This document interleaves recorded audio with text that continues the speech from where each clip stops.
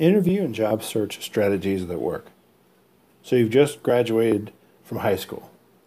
Your future is in front of you. Like, what I want to do, I want to do these things. Maybe you you don't want to spend a lot of money going to college. Maybe you don't want to go to college, but you want a job. And your options are very slim, to say the least. Meaning, you could work at a factory uh, for the summer months. You could work at a fast food restaurant. You could work at Walmart. And maybe you have the desire to get into the IT industry, but you're just not sure how to do it. And here, here's a solution or here's a strategy to you to think about. Joining the the reserves, the military reserves, or in this case, the joining the uh, U.S. Army reserves to get an IT job later. So it's a little different than the active duty. So you have, on one hand, you have active duty. On the other hand, you have reserves. So in active duty, you do you you go to AIT or basic training, then you go to AIT, and usually that's for the IT industry anyway. That could be six months uh, to a year. Six, let's say six months, and then afterwards, in active duty, it's a four or six year commitment, and the the pay rates are accordingly. You work all the time. You get to travel. Uh, you run every day. You do, you know, uh, PT every day for that four years time, and then slowly but surely, you make the rank of um, E4 or sergeant after your your four year enlistment usually. So you've met, moved up from say E1 to a E5 in in four years. On the other side, you have the reserve. In the reserve, you still go to basic training, you still go to AIT, Advanced Individualized Training, the same stuff that the other people do, the other uh, active duty do. The difference being is after you go through AIT, now you're assigned to a, a station, a duty sta- or a duty station, local to you. Could be a couple hours away, or whatnot and you do one week in a month. So you're you're training one week in a month, meaning you put on a uniform, you go out to the Air Force Reserve. I'm sorry, Army Reserve. Excuse me, the Army Reserve, and you do a mission. You uh, might do PT. You might do uh, uh, workshops for your skill set. You could do uh, a lot of stuff, and it's usually two weeks a year, and so I have one weekend a month and two weeks out a year. The, the, the difference being is, on one hand, full time, you're limited in your, in your money. You're, you know, you, you every six months usually you get promoted. Uh, and then on the other hand, the reserve, after you're done with uh, your training, you're a regular regular person. You don't you're not full time active duty. You can go get a full time job. So the benefit of going reserve is you have the credibility. You have the, the piece of paper, the, the validation. I say piece of paper, meaning when you, when you go through AIT, they give you a, a certificate of achievement or a certificate of um, accomplishment. So that that enables you to go and, and get a job. Not the piece of paper necessarily, but the, the skills that you have now. And I'm going to go through three jobs um, that you could join, you could do in the, the Army and um, AIT that you could go through. And I'm going to give you the a resource, such as like a, a YouTube link that you can go and, and uh, view it yourself. And I'm going to explain the different certifications that you can get with these three different type of jobs. Okay. Okay. So first one is um, a 25B or 25 Bravo. It's an information technology specialist. So all the every information is in the show notes, in the links to the show notes. If you go to tunein.com and you just search um, this podcast name and tune in, you'll you'll see all the uh, links. For some reason, Anchor doesn't uh, put up the links nicely, so if you go to uh, tunein.com uh, and just type in the uh, name of the podcast, you're going to you'll find the links in the in the show notes. So, a information technology specialist. Um, maintains a computer system.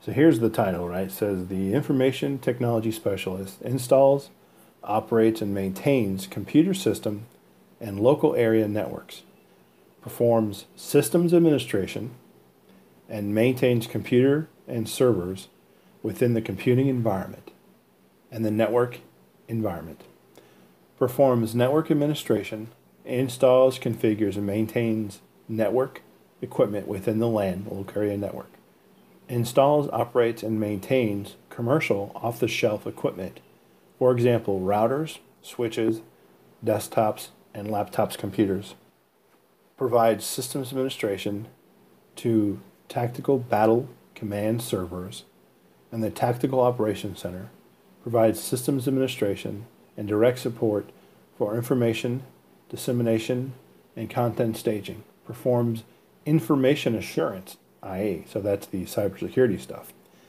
provides the security services and attributes of availability, authentication, confidentiality, integrity, and non repudiation network operations service desk management, which includes incident and problem processing, change request processing, availability management, and user interface. Assists with the planning, configuration, management, and monitoring of the wide area network. And what that basically means is, in, in general terms, right? You're going to learn um, you're going to learn about systems. You're going to learn about computers. So Windows servers, probably some Linux servers as well. You're going to learn about Cisco routers, probably some Juniper routers as well. You're going to learn about firewalls, such as uh, FortiGate or Juniper, uh, SonicWall, these type of firewalls. You're going to learn about uh, ticketing ma- ticket management management systems such as Remedy or ServiceNow, and you're going to learn about um, how the overall network looks. How do how do I um, how do I look at how do I plan uh, do you know conduct um, an audit, a site survey of an of an environment. How do I do? How do I patch the server? You know, how do I add it to the domain? A lot of Active Directory as well. It doesn't say that, but that's that's what that, that's what that means. So some of the certifications that that go along with this are the uh, Cisco uh, Network Plus, the Cis, I'm sorry, the CompTIA Network Plus, the um, Cisco CCNA, the CompTIA uh, Security Plus, the ITIL, so it's the um, ITIL, uh, which is like a framework of how to do uh, tasks in a company.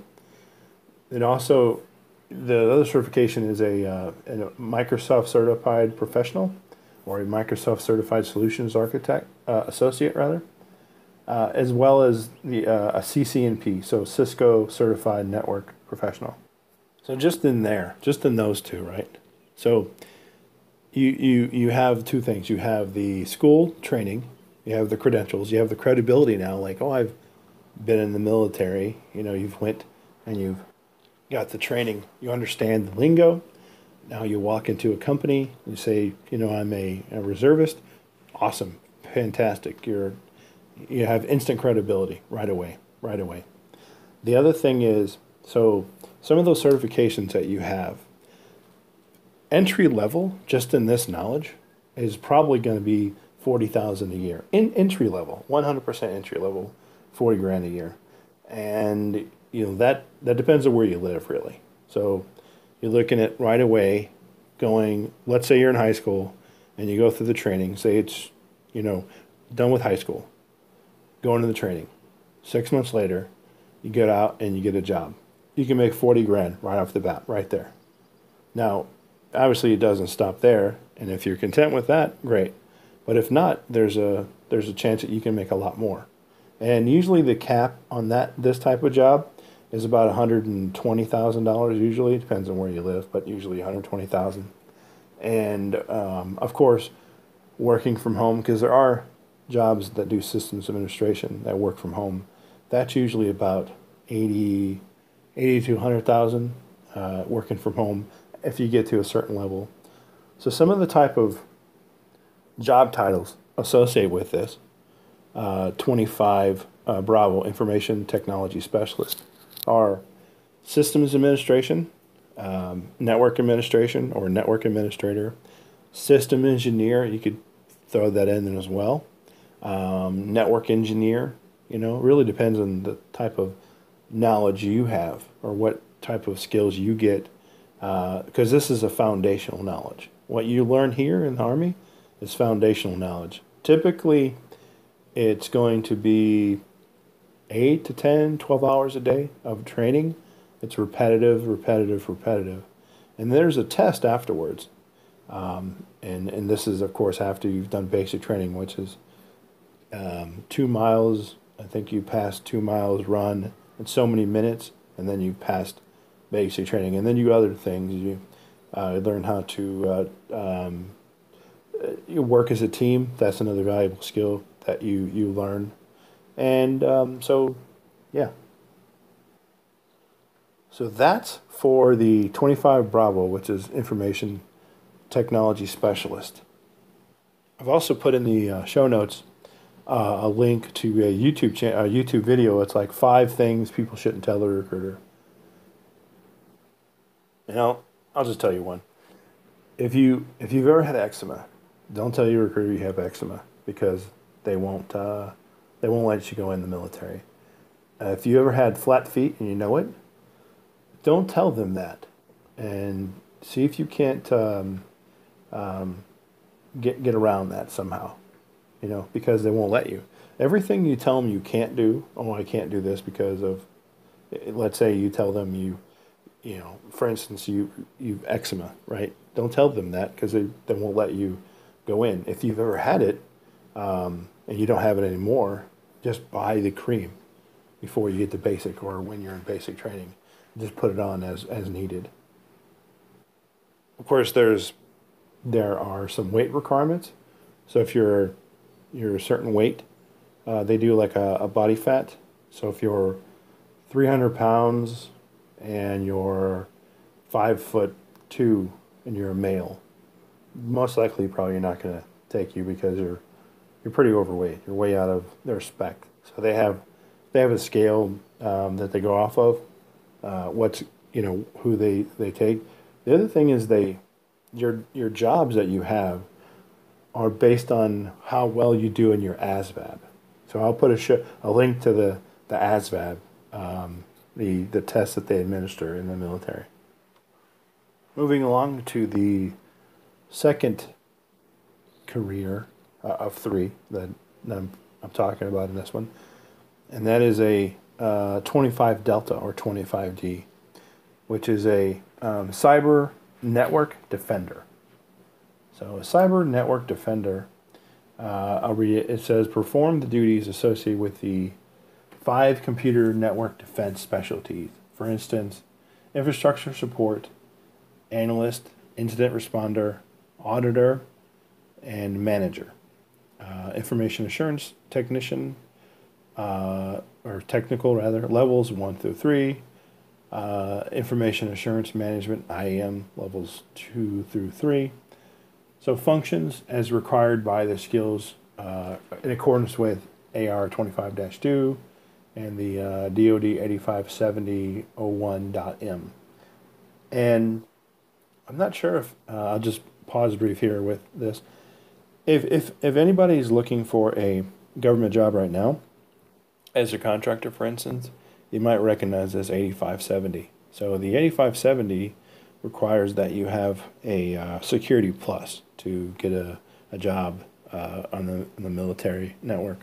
The good thing about this is um, they're going to get you that certification while you get there because uh, you need you need to have it. So moving on. Um, protects against monitors for performs analysts of response to to and detects unauthorized activity in the cyberspace domain. That's a that's a key word now, cyberspace, uh, which includes deployment and administration of the uh, CND infrastructure or the com- computer network uh, defense uh, infrastructure performs deliberate actions to monitor information systems or network configurations in response to computer network defense alert or threat information, collects data gathered from a variety of computer network defense tools to analyze events and warn of attacks that occur within the environment. So basically what that means is um, it's a not a not a hacker. You're a person that monitors the network. You you you might do some of the things that uh, to I guess um, thwart off hackers to prevent them from hacking a network, so to speak. And these are these are really software. You learn some of the software, for instance, like Wireshark, Snort. Uh, those are those. Are, for example, some of the tools you're going to learn. You're going to learn how probably to um, get into a server using tools like Hiren's bootcd um, or ERD Commander. The upside of this this skill set, the 25 Delta Cyber Network Defender, is that that's a hot thing right now. Uh, IA information assurance or cyber awareness, cyber uh, cyber security, right? Some of the certifications that you get with this MOS, this job, are uh, certified ethical hacker, um, Cisco certified network associate, uh, the global GIAC, Global Industrial Cyber Security Professional, the um, certified Linux administrator, the uh, CompTIA Linux Plus, the Cyber First, Cyber Security First Responder, the uh, CompTIA Security Plus. So the range of pay for this, uh, I just remembered a tool that they use. It's called uh, it's called Splunk. So that monitors logs. For instance, somebody, uh, what a company does is they hire like IA people, information assurance people, or cybersecurity people. And what they're doing is they collect logs from, uh, they just have logs turned on and they're monitoring the network all the time and they collect this data. And then they use tools like Splunk, for instance, that they sift through this, these logs and say, okay, uh, this is an unauthorized uh, entry into our network. Okay, let's let's find out where it's from. How can we prevent it from the future or in the future? They also use tools like um, uh, intrusion detection, detection systems and intrusion pre- prevention systems like uh, IP, uh, IPCop, IPFire, uh, SonicWall, FortiGate, uh, Cisco ASA, so a Cisco firewall. So the type of jobs that you can expect to get, or the salary range actually you can expect to get, is quite higher than, than normal you can expect to get to start off probably like at 65 uh, a year roughly. So that means after the training, you uh, are done with AIT, then you can walk into a job making like 65, 68 a year, and that's your that's your first first job. So going from high school, uh, six months, eight months later, you're in uh, you're making 65 a year, 68 a year, and it just goes up from there. So that's the second job. And the third one is a 25 in, 25 November, which is a nodal network systems operator maintainer. Okay, so the 25 in November is nodal network systems operator maintainer. And I'll read the description. The nodal network systems operator maintainer supervises, installs, operates, and performs field level maintenance on IP based high speed electronic nodal systems, which are nothing more than switches or, you know, basically switches or what's the 192s or optical carriers. Could be um, something involved in uh, uh, microwave telemetry, uh, integrated network controller systems, network management facilities, associated multiplexing uh, and transit case subscriber interface equipment communications, security, ComSec devices, and other equipment associated with network nodal operations. Perform network management functions in support of maintaining, troubleshooting, and re-engineering of nodal assets as needed in support of operational requirements. So what that means is basically um, you're in the field, you know, basically. So you, uh, if you ever thought of like a phone company or uh, a network phone company, and you're what you're doing is you're you're you're going out to the field in this particular job skill or what they're they're doing, what they're talking about. You have these um, cases, uh, mobile subscriber cases, basically, and when uh, you go out to the field, you have to set up communications for the individuals behind you to communicate, and then in front of you as well. So, for instance, like say uh, they need to relay information from 20 miles away or 100 miles away. Well, they don't have cell phones in the field in some cases. They do, uh, but they this is you creating your own environment network basically using this. So in the in the back, you have an individual commander will pick up their phone, their military phone, its equivalent, and they make a call through to the front of the uh, field. So they call that the um, they call it a, they call it a theater basically, but it's in the front, the very front of the field, and that's something like they need to do something in the front, and you're you're in the middle, so you're relaying that message. So it could be a combination of satellite or microwave, as well as running uh, cable, like fiber optic cable to your, your, your, in your front. So, for instance, you could probably say um, from their phone in the rear, they pick up their phone, they're calling. There's a cell tower that you're at, you're setting up a cell tower essentially. You're providing communications for it.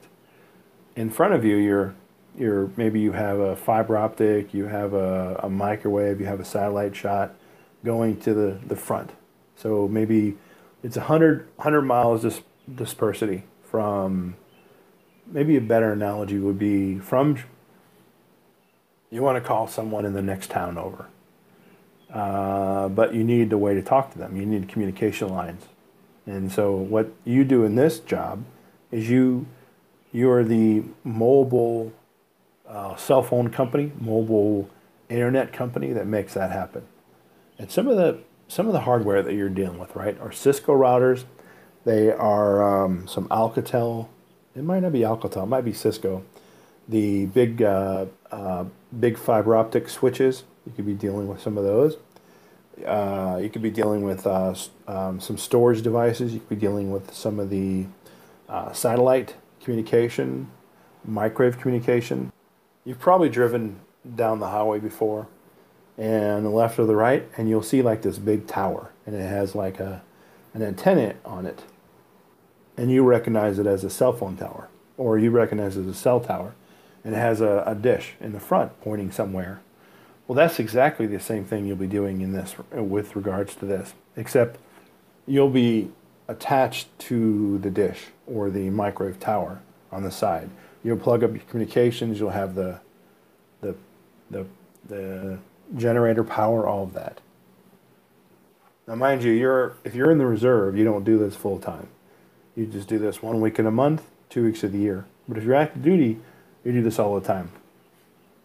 So for this job, when you get out, it's the same as if you wanted to work for a, uh, a cell phone company or an ISP, internet service provider like say um, uh, Comcast, for instance, or iDirect is a prime example. It's a satellite provider, and what you're doing is you're working there. Let's see, what's the pay like?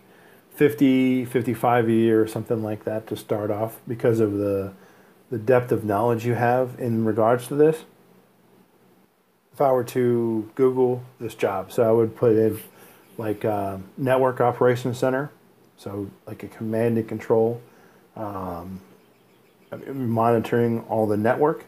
So, this could be uh, working at, say, an internet service provider that makes sure all the uh, networks are up. And you don't look at the networks, you're more looking at like the, the, the infrastructure. Is infrastructure happy? Is, is there traffic uh, being passed from A to B. So, for instance, your job would be in the real world from real world from this would be there are circuits like T1s or T3s or OC192s, OC3s like optical carriers. Uh, a company will buy, let's say from let's say Comcast, they'll give Comcast money to or AT&T. The customer will give them money to put up a link from say one town to this town, and they want they want that path, they want that link to be 100 meg or a, a, a gig of, of internet. And what your your role is to make sure that's up all the time. And it's a it, once it's set up, it's good. But sometimes it does take hiccups, and so you you you might uh, you have tools, of course, that, that do all this. Like uh, SolarWinds does this for you, um, and a number of other tools. But SolarWinds comes to mind. It's this job in the civilian sector.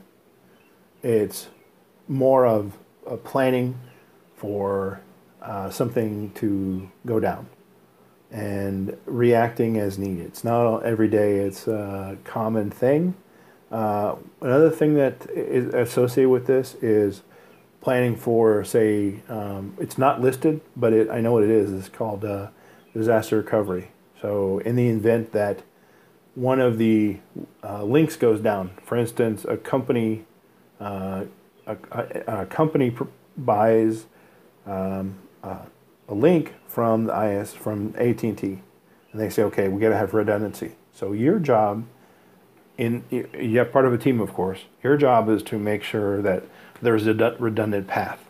Maybe, let's say, for instance, there's a hurricane, unfortunately, that goes in the area, and a company has a data center.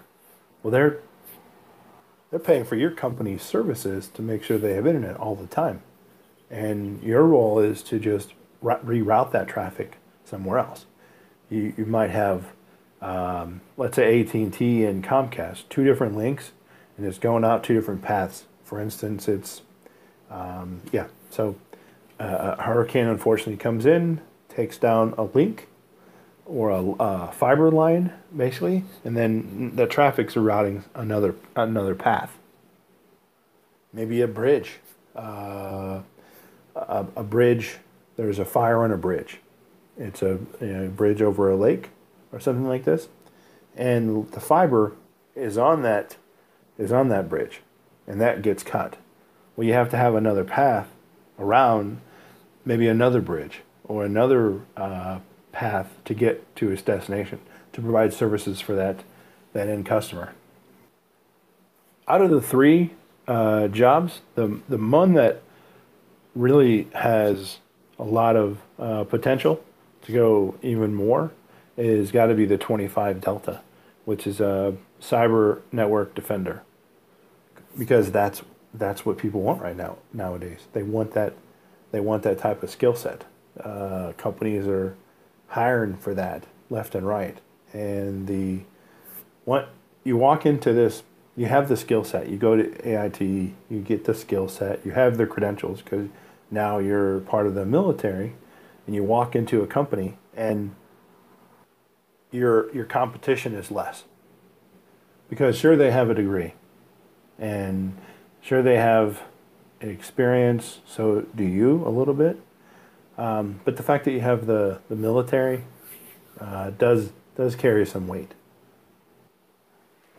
And here's something else to think about: individuals that they go to college and they get the same type of uh, degree the same type of job you have, but they get a degree in it, let's say. So they go, your your peers now, they go in and they do four years.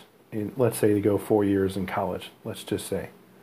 So they go four years of college, and then they start earning money. Well, you've already done that. And maybe they start at a higher level, let's say. Maybe they started at 100000 after four years. So that means they essentially would have, but and they still have to pay their college loan essentially. Well, in the reserves or the army and military, you can start right away. It, within a, a year, you can make, for this particular one, like you know, 80 80,000 or so a little more than eighty thousand a year, and so in four years' time, you could beat the high high high end of the spectrum, the high end of the pay scale, and who knows where this this job is going to take you in the future? Who knows the other skills skills you're going to learn off of this? So you have those those years of experience um, because you've been in the service, and you, that, six months or eight months of, of time that you had to put in is worth it. So I've, I've included a, uh, a link to an ASVAB test online, and you can just look at it. Uh, ASVAB stands for Armed Services Vocational Aptitude Battery Test. And the ASVAB is the same for every branch, I think. I'm pretty sure that's, that's right. Okay, now I'm going to tell you about a skill, a job that you do not want to get in the military. And that's 11 Bravo. Not that I'm knocking 11 Bravos, infantrymen, don't do that in the military. Um, you know, you, it's a great, you know, it is what it is. But if your goal is to earn money when you get out, um, and you know, not that they don't, but try to get a, a tech. You know, your your objective here is not just to go in and learn. You know, work out and do. Your your objective is to to go in uh, and to learn something to get a job, so you can earn money. So you don't have to work.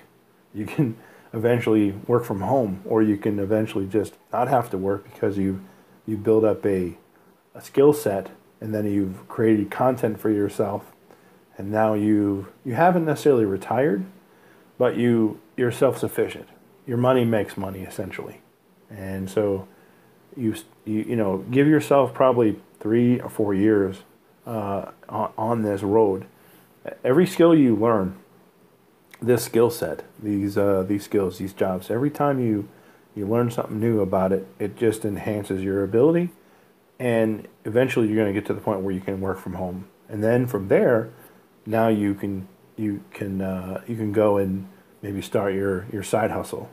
You can start getting more skills, and and now your money makes money for you. Hope everybody found value in this uh, podcast. If you you can follow me on uh, Twitter at uh, Gary McNeely IT, or you can go to my website GaryMcNeelyIT.com. Both are in the show notes. Thanks a lot, and have a great day.